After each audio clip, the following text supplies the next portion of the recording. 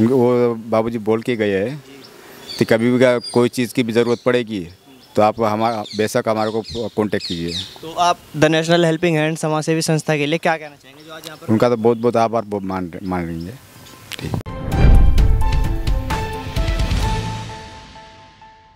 नमस्कार।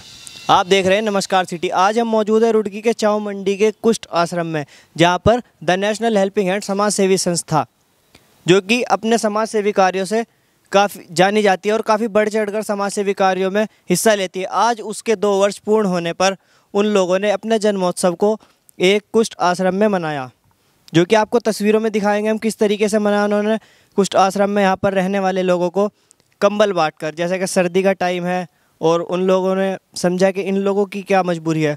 मजबूरी को समझते हुए उन लोगों ने यहाँ पर आज कंबल बांटने का कार्यक्रम रखा आइए अंदर लेकर चलते हैं। आपको दिखाते हैं तस्वीरों में किस प्रकार ये कार्यक्रम चला। और यहाँ पर कुछ पुलिस प्रशासन से भी जो लोग आए थे उन्होंने भी सहयोग किया अपना यहाँ पर। उनसे भी आपकी बात कराते हैं और कुछ संस्था के पदाधिकारियों से बात कराते हैं। आपकी चले आज का जो यहाँ आपके कुष्ठ आश्रम में ये एक कार्यक्रम रहा। किस प्रकार का कार्यक्रम? बढ़िया था सर जी बढ़िया। क्या कंबल वितरित कहाँ जी कमल कमल वितरित किया और बढ़िया कार्यक्रम बढ़िया ठीक हुआ। तो कितना कंबल बांट कर गए आज वो लोग यहाँ? तेईस। तेईस। तेईस जी?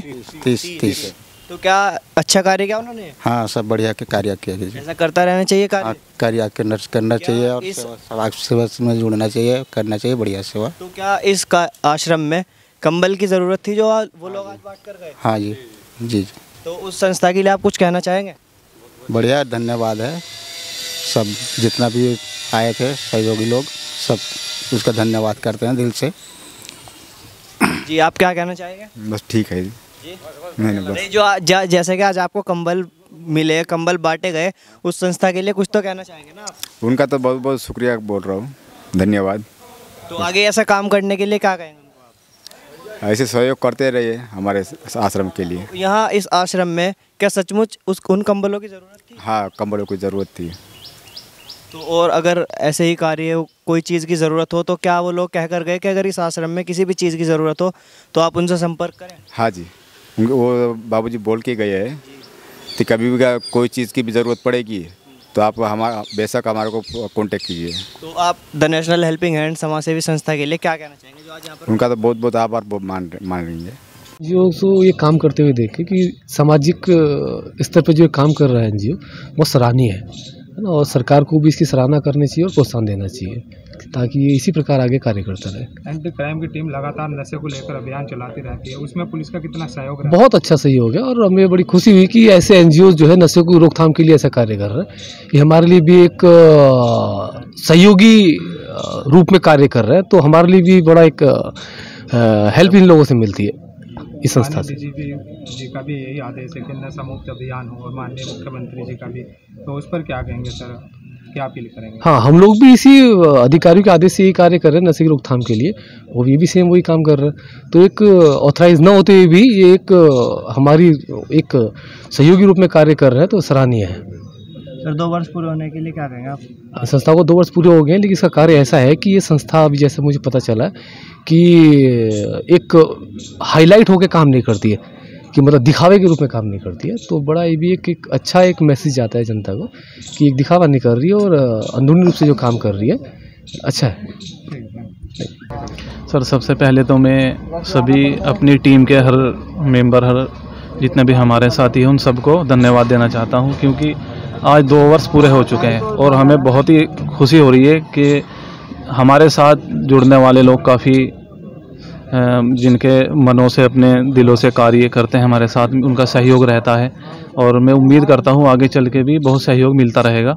और रही बात यहाँ प्रोग्राम करने की, हम इस तरह के प्रोग्राम हमेशा से करते आए हैं और इंशाल्लाह आगे भी करते रहेंगे। कितने कंबल वितरित किए हैं लगभग मेरे ख्याल से तीस पैंतीस के करीब थे जो हमने जितना हमें पता चला उस हिसाब से हम काउंटिंग करके लेकर आए थे और हमने वितरण किए। एनजीओ का ऐसे ही लगातार कार्य आगे जारी रहेगा? हाँ बिल्कुल रहेगा। मरते दम तक ये इस तरह की सेवा करते रहेंगे। नशे को लेकर कितने क्षेत्र में मीटिंग कर चुके हैं? सर नशे नशे को लेकर हमारी मीटिंगें रुड़की हो गया और इधर हरिद्वार साइड हो गया।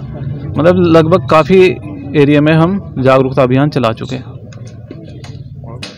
सर, बहुत अच्छा लग रहा है और सबसे अच्छी बात यह है कि यहाँ के जो आश्रम के लोग हैं, उन लोगों ने भी सपोर्ट किया और उन लोगों ने पहले से ही बता दिया था कि इतना मतलब इतना इतना कम्बल लगेगा जैसे काउंट हुआ था। तो बस यही है कि आगे हम लोग ऐसे प्रोसीजर करते रहेंगे और आगे जो है, जितना भी हम लोगों से होगा, हम लोग जैसे रक्तदान भी करते हैं हम लोग और ब्लड डोनेट का और नशा मुक्ति करने पे हम लोग काम कर रहे हैं, आई कैम्प का भी काम कर रहे हैं।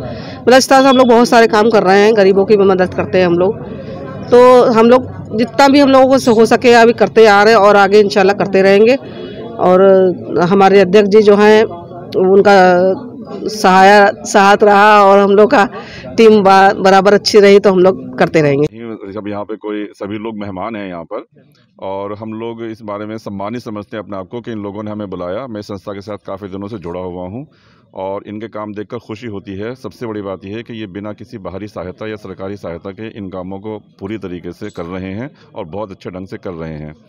आप लोगों को शायद हमसे ज़्यादा मालूम होता है कि इससे पहले के जो भी काम कर चुके हैं, चाहे वो लोगों को फ्री हेलमेट बांटना रहा हो, या फिर रक्तदान का हमारा रहा ब्लड बैंक में हम लोग ब्लड पहुँचा देते हैं तो वो शिविर लगा के जो इन लोगों ने इतने काम किए हैं, वो बहुत अच्छी बात है। और आज अपने स्थापना दिवस पे जो इन्होंने ये, आज कुष्ठ आश्रम में आके कंबल बांटे हैं तो मैं समझता हूँ इसका शायद इन लोगों की दुआएँ जो है हमें और आगे लेके जाएँगी। इन लोगों की तो जितनी तारीफ़ की जाए, उतनी कम है। सबसे अच्छी बात यह है कि लोग साइलेंट वर्कर्स हैं। इतना शहर में लोगों को पता भी नहीं चल पाता जितना काम ये लोग बिना किसी को कहे कर लेते हैं। और मैं धन्यवाद आप मीडिया का भी देना चाहूँगा, जो इन लोगों को प्रमोट करने के लिए साथ में आए हैं। और आप लोगों से बस ये निवेदन है कि जो भी इनके कार्यक्रम आगे भी होते रहें, उनको आप अपने माध्यम से ज़्यादा से ज़्यादा प्रचारित कर सकें, जिससे कि और भी जहाँ समाज में इन लोगों की आवश्यकता हो हम लोग सब मिलके इन लोगों के सहयोग से ये वो सब कार्य कर सकें।